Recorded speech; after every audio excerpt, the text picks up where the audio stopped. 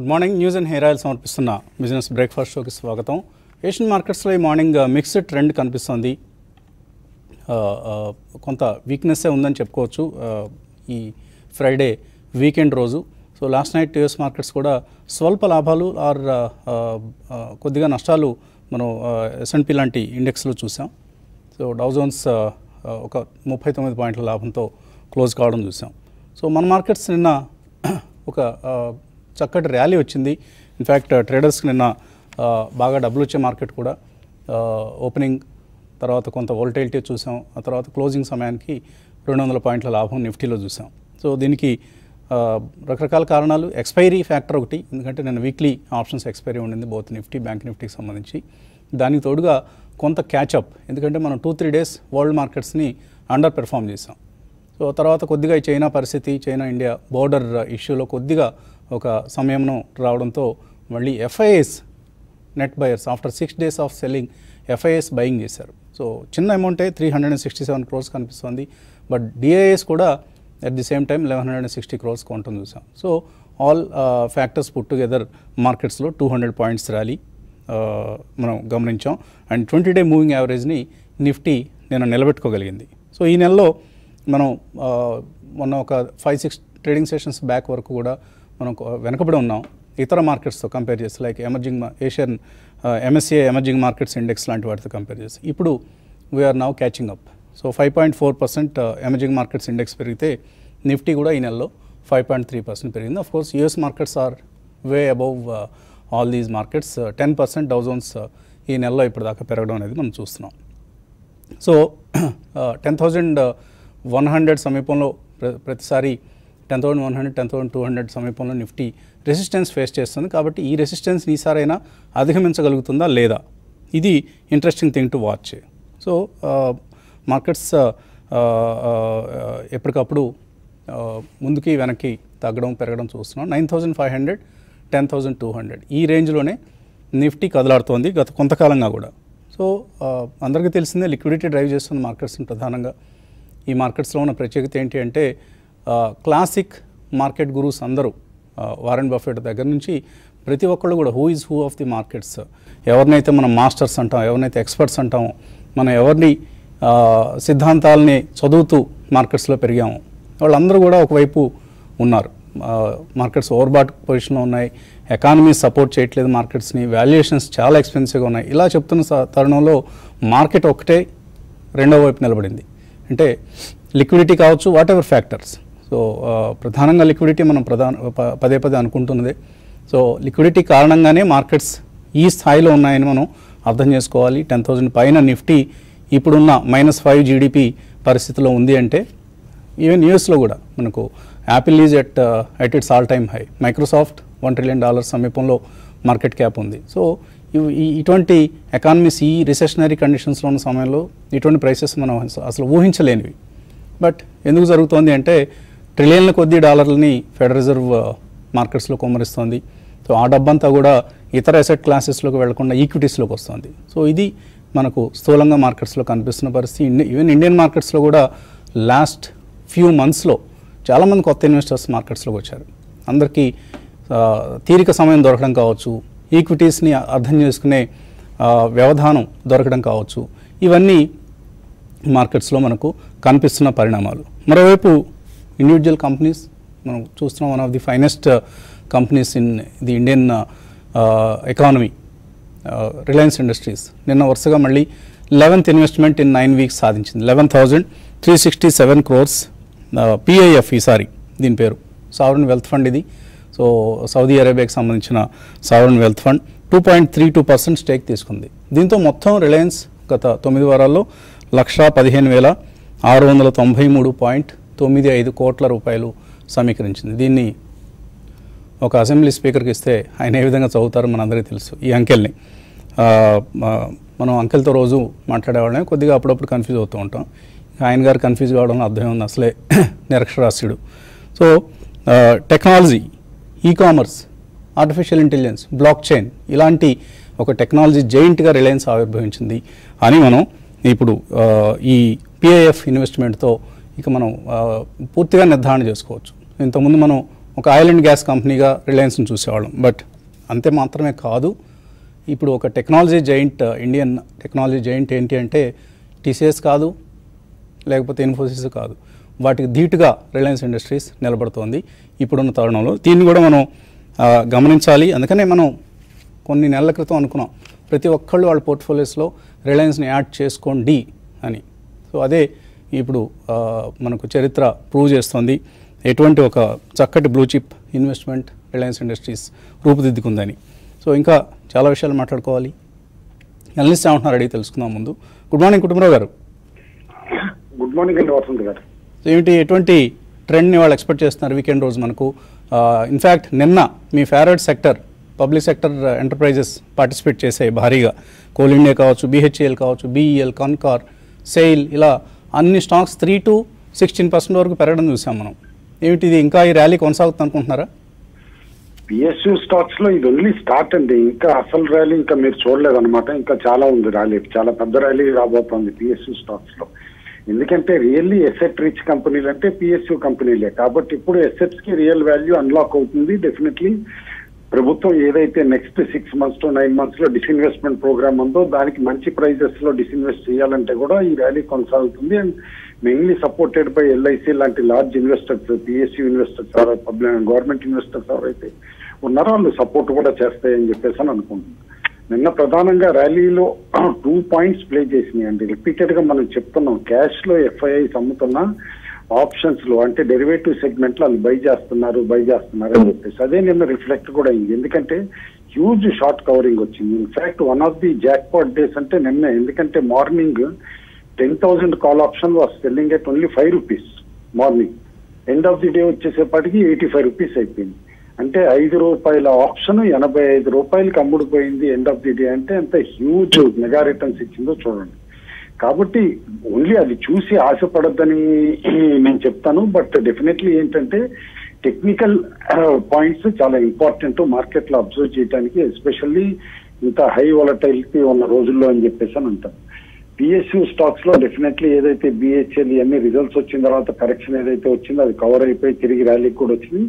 ఇప్పుడు next national aluminium కూడా బాగా రికమెండ్ చేస్తున్నామండి. నాల్కో ఎందుకంటే హిందాల్కో రిజల్ట్స్ బాగా వచ్చినాయి. అదే విధంగా అల్యూమినియం స్పేస్లో ఇటు వేదాంత కానీ వీళ్ళందరూ కూడా చూపించిన రిజల్ట్స్ ఆ పర్టికులర్ మెటల్లో బాగున్నాయి. కాబట్టి టర్న్ అరౌండ్ పెర్ఫార్మెన్స్ నాల్కో నుంచి కూడా వస్తుందని చెప్పేసి ఎక్స్పెక్టేషన్స్ ఉంది. Stock can easily come back to forty to forty five levels అని చెప్పేసి అని చెప్తున్నారు. కాబట్టి అక్యుములేట్ నాల్కో అని చెప్పేసి అని చెప్తాను.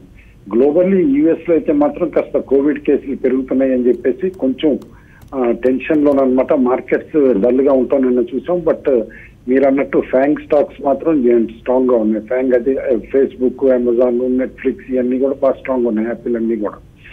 బట్ మన దగ్గరకు వచ్చేసేపాటికి నేను ఇంకో రిపోర్ట్ కూడా చాలా ప్లే చేసింది మార్కెట్ పైన. అది Macquarie report. Macquarie brokerage report ఏదైతే ఇచ్చిందో వాళ్ళు ఏమన్నారంటే ఓవర్ బ్లోన్ అనమాట ఏది మన ఎన్బిఎఫ్సి లోన్స్ కానీ రీటైల్ లోన్ డిఫాల్ట్స్ ఇండియా చాలా ఓవర్ బ్లోను అంత డిఫాల్ట్స్ ఏమి ఉండవు. మేము నెంబర్స్ అన్ని చెక్ చేసాము. మా మెయిన్ లింక్ వచ్చిన నెంబర్స్ బట్టి చూస్తే default will be very very less compare to ఇదివరకటి ఎక్స్పెక్టేషన్స్ కంటే అని చెప్పి ఎప్పుడైతే చెప్పారో అది మార్కెట్లో రిఫ్లెక్ట్ కూడా అయింది. ఎందుకంటే మెక్వేర్కి కాస్త క్రెడిబిలిటీ ఉంది మెక్వేర్ రిపోర్ట్స్కి. అందుకని చెప్పేసి అనమాట బజాజ్ ఫిన్సర్ కానీ బజాజ్ ఫైనాన్స్ కానీ కోటక్ బ్యాంక్ కానీ హెచ్డిఎఫ్సి బ్యాంక్ కానీ మార్నింగ్ ఓపెనింగ్లో పెరగలేదు. ఇవన్నీ కూడా ఇంట్రాడేలో అనమాట పెరగటం మొదలైనవి. వన్స్ రిపోర్ట్ వచ్చిన తర్వాత. కాబట్టి డెఫినెట్లీ ఫైనాన్షియల్ సెక్టర్లో కొంచెం అనమాట ఫియర్స్ తగ్గుతాయి ఆ రిపోర్ట్ తర్వాత అని చెప్పేసి అని అనుకుంటున్నా. కాబట్టి డిక్లైన్స్లో ఫైనాన్షియల్ స్టాక్స్ కూడా కాస్త అక్యుములేట్ చేయొచ్చు ఫర్ పొజిషనల్ ట్రేడింగ్ అని చెప్పేసి అని అంటారు.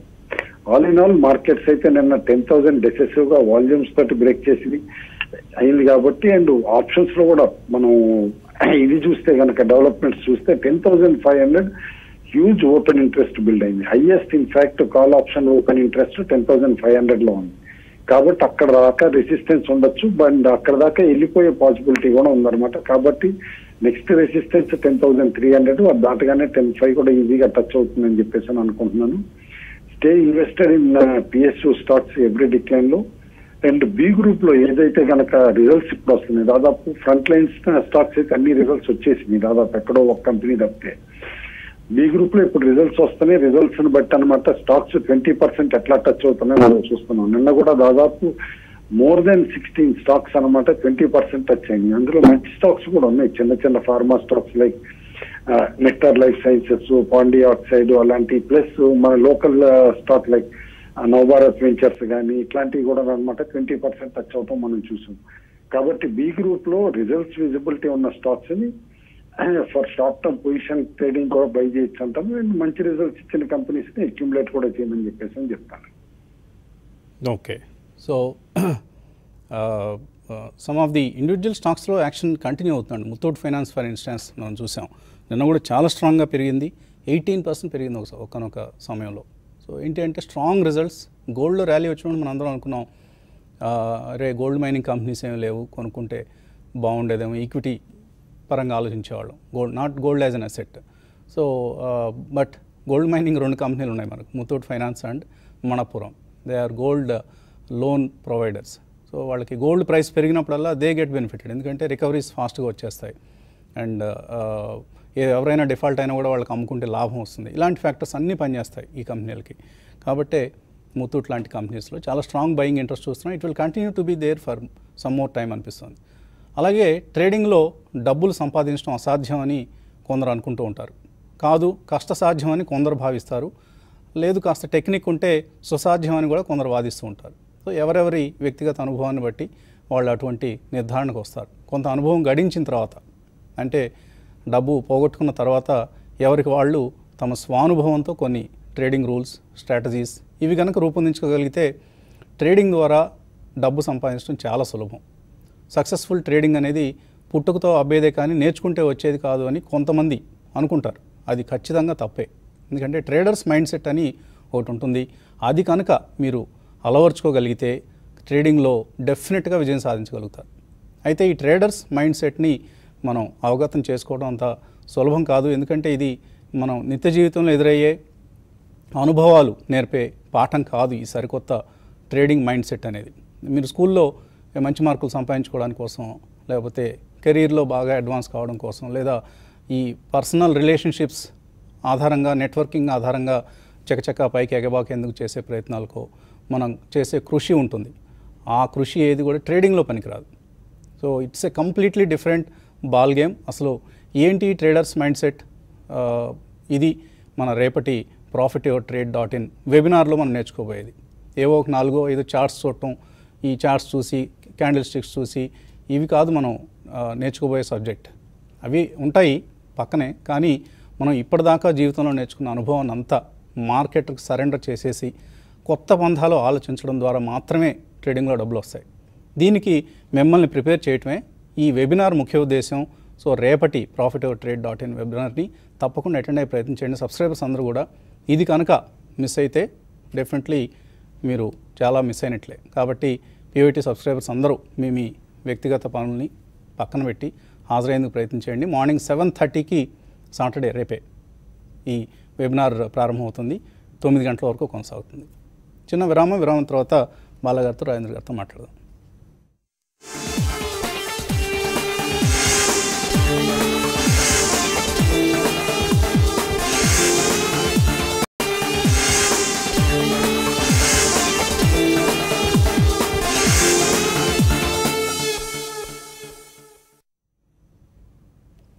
న్యూస్ అండ్ హెయిర్ ఆయిల్ సమర్పిస్తున్న బిజినెస్ బ్రేక్ఫాస్ట్ షోకి పునఃస్వాగతం. మనతో రాజేంద్ర గారు బాలా గారు మాట్లాడేందుకు సిద్ధంగా ఉన్నారు.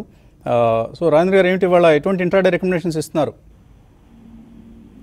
Good morning Vasant garu. I think last five days seven days ఏదైతే సైడ్ వేస్ ఉందో ఐ థింక్ నిన్న ఒక చిన్న బ్రేక్అవుట్ రావటం చూసాం మనం. సో నా ఉద్దేశంలో టెన్ థౌసండ్ థర్టీ దాని అబో ఎప్పుడైతే క్లోజ్ అయిందో మార్కెట్ మళ్ళీ నెక్స్ట్ అప్ అప్ ట్రెండ్ అయ్యే ఛాన్స్ ఉంది. బట్ మనం గమనించాల్సింది ఏంటంటే మనం ఒక రెసిస్టెంట్ జోన్లోకి వస్తున్నాం. సో టెన్ థౌసండ్ ఎయిటీ నుంచి టెన్ థౌసండ్ త్రీ ఫార్టీ ఏదైతే ఆ త్రీ హండ్రెడ్ పాయింట్స్ ఉందో అదొక రెసిస్టెన్స్ జోన్లోకి ఎంటర్ అవుతున్నాం కాబట్టి ఫ్రెష్ లాంగ్స్ అయితే అవాయిడ్ చేయాలి. ఉన్న లాంగ్స్ని డెఫినెట్లీ స్టాప్ లాస్ తోటి హోల్డ్ చేయమని చెప్తాను. I think double nine double four అనేది మనకు ఒక కీ సపోర్ట్గా నెక్స్ట్ ఉంటుంది. ఒకవేళ ఫాల్ వస్తే కనుక. సో దాని కింద స్టాప్ లాస్ పెట్టుకోవాలి. ఇన్ కేస్ ఎవరైనా ఫ్రెష్గా మార్కెట్లో ఎంటర్ అవ్వాలంటే కనుక double nine ninety nine forty ninety nine fifty దగ్గరే లాంగ్ పొజిషన్స్ ఎంటర్ అవ్వాలి. మేబీ అక్కడ నుంచి ఫిఫ్టీ పాయింట్స్ స్టాప్ లాస్ పెట్టుకొని ఉండొచ్చు. అదేవిధంగా బ్యాంక్ నిఫ్టీ విషయానికి వస్తే కనుక కొద్దిగా అండర్ పర్ఫామ్ చేస్తుందని చెప్పొచ్చు ఈ స్టేజ్లో. ఎందుకంటే ప్రాబ్లీ ఇది ప్రీవియస్ స్వింగ్ హై ఏదైతే ఉందో twenty one eight nought seven దాటితేనే next leg of rally వచ్చే ఛాన్స్ ఉంది. Otherwise probably twenty thousand five eighty నుంచి ట్వంటీ వన్ వన్ ఫోర్ దగ్గర ఒక డిమాండ్ జోన్లో ఉంటుంది. సో ఈవెన్ బ్యాంక్ నిఫ్టీ కూడా ప్రాబ్లీ బయాన్ డిప్స్ గానే మనం చెప్పుకుంటాం. అండ్ ఎగ్జిస్టింగ్ పొజిషన్ ఎవరికైతే ఉందో వాళ్ళు nineteen thousand nine seventy eight కింద క్లోజింగ్ బేసిస్లో స్టాప్ లాస్ అనేది పెట్టుకోవాలి. అండ్ ఇండివిజువల్ స్టాక్స్ వచ్చేసరికి మనం నిన్న కూడా చెప్పాం ముత్తూట్ ఫైనాన్స్ లాంటివి ఆల్ టైమ్ హై బ్రీచ్ అయిందని. But yesterday's move on surprising ఎందుకంటే ఇమీడియట్లీ ఎయిటీన్ పర్సెంట్ అనేది మనం జనరలీ చూడడం అలాంటి moves but definitely there is more strength అని చెప్పొచ్చు అలాంటి స్టాక్స్లో. నా ఉద్దేశంలో ముత్తూట్ ఫైనాన్స్ ఒకటి వాచ్ చేయొచ్చు. ప్రాబ్లీ నిన్నటి బార్ ఏదైతే ఉందో ten thirty six and eleven seventy five thirty percent retails అంటే థర్టీ థర్టీ ఫైవ్ రూపీస్ పడితే కనుక ముత్తూట్ ఫైనాన్స్లో లాంగ్ క్రియేట్ చేయొచ్చు. With about fifteen rupees stop loss పెట్టి. అదేవిధంగా రిలయన్స్ మళ్ళీ నిన్న కూడా ఎక్స్టెండింగ్ టాప్ అవుట్ అని చేసాం హైయర్ హైస్ ఫార్మేషన్ జరుగుతుంది స్టాక్లో. సో నా ఉద్దేశంలో ఈ స్టాక్ సిక్స్టీన్ థర్టీ ఫైవ్ దగ్గర ఒక కీ సపోర్ట్ ఉంటుంది. అంటే ట్వంటీ రూపీస్ uh, నిన్నటి uh, క్లోజింగ్ మీద కిందకు వస్తే కనుక లాంగ్ క్రియేట్ చేయొచ్చు. అక్కడి నుంచి ten or fifteen rupees stop loss పెడితే అగైన్ ఈ రోజు ఇన్ కేస్ మార్కెట్ పెరిగితే కనుక అప్ టు సిక్స్టీన్ ఎయిటీ నుంచి సిక్స్టీన్ నైన్టీ దాకా అప్ సైడ్ వెళ్ళే ఛాన్స్ కనిపిస్తుంది. Right so good morning బాలాగారు good morning Vasant garu. So ఏంటి Future group stocks last few డేస్గా upper circuit touch చేస్తున్నాయి. All almost all the group shares. ఎందుకు అంటే Reliance group Future group at least Future రిటైల్ని acquire చేయబోతోంది అన్న ఒక వార్తలు మనం గమనిస్తూ ఉన్నాం. సో ఆల్రెడీ ఫ్యూచర్ గ్రూప్లో అమెజాన్ పెట్టుబడులు ఉన్నాయి. So it is an indirect exposure to Amazon also for Reliance so ఇలా రకరకాలుగా ఫ్యూచర్ గ్రూప్లో మన స్టోరీస్ వింటున్నాం. ఏం చేయొచ్చు ఈ సమయంలో future group share holders or ఎవరైనా కొనాలి అనుకుంటే కొనడాన్ని మీరు సమర్థిస్తారు ఈ సమయంలో? అంటే ఫ్యూచర్ గ్రూప్ హోల్డింగ్లో రిలయన్స్ వాళ్ళు స్టేక్ ఎక్స్పైర్ చేస్తున్నారనే వార్తలు చాలా స్ట్రాంగ్గా వస్తున్నాయండి. So instead of buying those Future group stocks ఎందుకంటే వాళ్ళు ప్లెడ్జ్ కూడా చేశారు ఫ్యూచర్ గ్రూప్ స్టాక్స్ చాలా. సో అక్కడి నుంచి ఎవరి దగ్గర అయితే ప్లెడ్జ్ హోల్డర్స్ ఉంటారో వాళ్ళ దగ్గర నుంచి సెల్లింగ్ వచ్చే అవకాశం ఉంది. సో ఈ మధ్య అవి స్ట్రాంగ్గా పర్ఫామ్ చేశాయి కాబట్టి యాజ్ ఎ ప్రాక్సీ రిలయన్స్ కొనమని చెప్తానండి. ఫ్యూచర్ గ్రూప్ స్టాక్స్ ట్రేడర్స్కి డెఫినెట్లీ ఏదైనా లెవెల్స్ ఉంటే వాళ్ళు ఫాలో చేసి తప్పకుండా కొనుక్కోవచ్చు. ట్రేడింగ్ ప్రాఫిట్స్ అనేది బుక్ చేసుకోవచ్చు కానీ ఆర్ లాసెస్ కానీ తీసుకోవచ్చు. But instead of buying Future group stocks I would always say buy Reliance as a proxy ఎందుకంటే ప్రాక్సీగా రిలయన్స్ మనకి ఇన్ని ఇన్వెస్ట్మెంట్స్ వచ్చాయి. అండ్ వాళ్ళు బయట నుంచి డబ్బులు కంపెనీలోకి స్ట్రాటజిక్ ఇన్వెస్టర్స్ లాగా తీసుకొస్తూ వాళ్ళు కూడా they are on the prey to acquire companies in India ఇది గత రెండేళ్ళుగా జరుగుతుంది. Future group is going to be huge edition for them so ఆ కారణం వలన ఫ్యూచర్ గ్రూప్లో మాత్రం అప్రమత్తంగా ఉండాలి. ఫ్యూచర్ రీటైల్ ఈజ్ ఓకే అండి ఉన్న వాటిలో సో మిగతా కొనే బదులు Reliance on every dip you should buy అండి. అంటే మనకి పర్సంటేజ్ ఆఫ్ రిటర్న్ ఎక్కువ చూసుకోవాలి కాబట్టి కొద్దిగా అప్రమత్తంగా ఓన్లీ ఫ్యూచర్ రిటర్న్ అయితే on decline one can buy otherwise Reliance as a proxy is a good bet okay అండి. అలాగే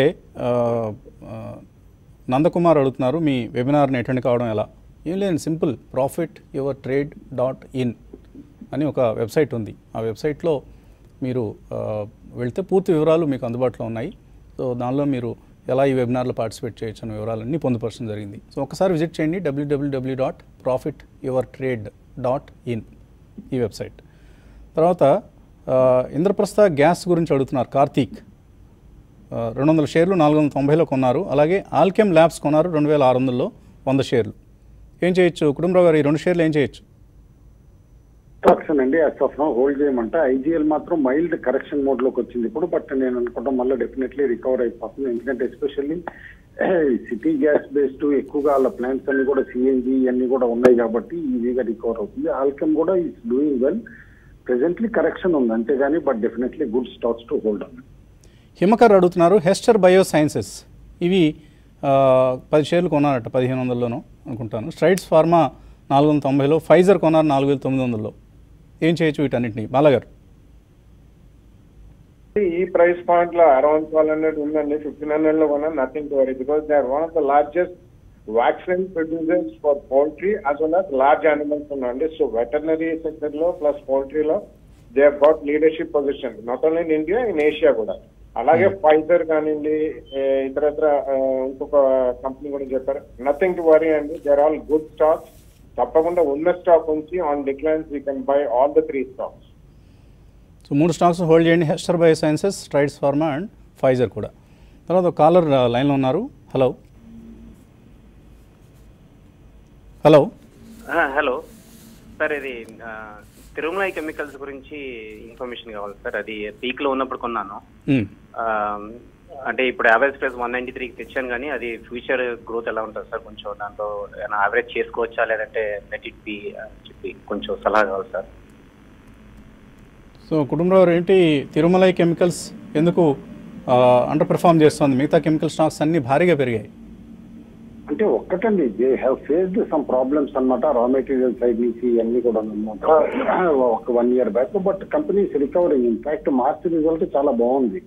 దాదాపు two thirty five crores revenue చూపించారు compare to December one eighty three అనమాట అండ్ ప్రాఫిట్ కూడా డిసెంబర్లో కేవలం కోటి రూపాయలు వస్తే ఇప్పుడు పదమూడు కోట్ల పైసలకు వచ్చింది. బట్ డెఫినెట్లీ స్టాక్ హోల్డ్ చేయమంటానండి ఇన్ఫాక్ట్ ధైర్యం ఉంటే ఇప్పుడు యావరేజ్ చేయమంటాను. ఎందుకంటే ఇంత ఇంతకాలం హోల్డ్ చేశారు. ఈ లెవెల్లో ఒకసారి యావరేజ్ చేస్తే both Tirumalai and Ganesh Benzoplast లాంటి రెండు స్టాక్స్ కూడా ఇక్కడ నుంచి జంప్ అయ్యే పాసిబిలిటీ ఉంది. వర్స్ట్ ఈస్ ఓవర్ అండి. ఓకే. తర్వాత సంపత్ రెడ్డి జిందాల్ స్టీల్ కొన్నారట నూట ఇరవై మూడు రూపాయల్లో. అలాగే ఐడియా షేర్స్ కొన్నారు పది రూపాయల్లో. హోల్డ్ చేయొచ్చా ఈ రెండు? సెల్ స్టిల్ డెఫినెట్లీ హోల్డ్ చేయొచ్చు అండి మనకి స్టాక్ చూస్తే కనుక నైన్టీ టూ నుంచి వన్ ఫిఫ్టీ పెరిగినప్పటికీ ఐ థింక్ మంచి సపోర్ట్ పాయింట్ దగ్గరే ఉంది ఇప్పుడు. సో మీరు ఇన్ కేస్ ట్రేడర్ అవుతే కనుక మీ cost price one twenty three ఏదైతే ఉందో అది స్టాప్ లాస్ పెట్టుకోమని సజెస్ట్ చేస్తాను. కరెంట్లీ వన్ ఫార్టీ ఫైవ్ ఉంది. నా ఉద్దేశంలో నెక్స్ట్ టూ మంత్స్లో ఇది వన్ సిక్స్టీ ఫోర్ నుంచి వన్ ఎయిటీ దాకా అప్సైడ్ పొటెన్షియల్ కనిపిస్తుంది. అండ్ ఐడియా కూడా ప్రాబ్లీ ఐ థింక్ ఈ స్టేజ్లో అయితే యూ క్యాన్ హోల్డ్ అండి. టెన్ రూపీస్లో కొన్నా అన్నారు. సో ఇది దీని రేంజ్ అనేది అరౌండ్ సెవెన్ రూపీస్ నుంచి ఫోర్టీన్ రూపీస్ మధ్యలో ట్రేడ్ అయ్యే ఛాన్స్ ఎక్కువ కనిపిస్తుంది. కేవీజీవి ప్రసాద్ వెస్ట్ లైఫ్ డెవలప్మెంట్ ఇది కొన్నారట మూడు వందల నాలుగు రూపాయల్లో అలాగే ఎస్ బ్యాంక్ ఉన్న ఇరవై ఐదు రూపాయల్లో hold or sell I think Westlife is definitely hold అండి. ఎందుకంటే వాళ్ళు McDonald's franchisee holders for India and also surrounding and it's one of the QSR సెగ్మెంట్లో the only two big listed players మనకి Jubilant food and Westlife Development so definitely నా ఉద్దేశంలో Westlife Development is a hold and on decline it still a buy right ఇంకా చాలా mails ఉన్నాయి కానీ సమయం మించిపోయింది. అలాగే వెబినార్కి సంబంధించిన లింక్ ఎలా వస్తుంది అని అడుగుతున్నారు. మధ్యాహ్నానికి సబ్స్క్రైబర్స్ అందరికి కూడా లింక్ పంపిస్తామండి. జూమ్లో మీ దగ్గర జూమ్ యాప్ ఉండాలి. జూమ్ యాప్ ఉన్న వాళ్ళందరికీ అది మొబైల్లో కావచ్చు ల్యాప్టాప్లో కావచ్చు ఆర్ ట్యాబ్లో కావచ్చు ఎక్కడ ఉన్నా కూడా మీరు anywhere any time morning seven థర్టీకి ఆ సమయం మాత్రం అందరూ నిద్రలేచి వెబినార్కి హాజరయ్యే ప్రయత్నం చేయండి. ఇది ఇవాళ breakfast show. Enjoy your weekend.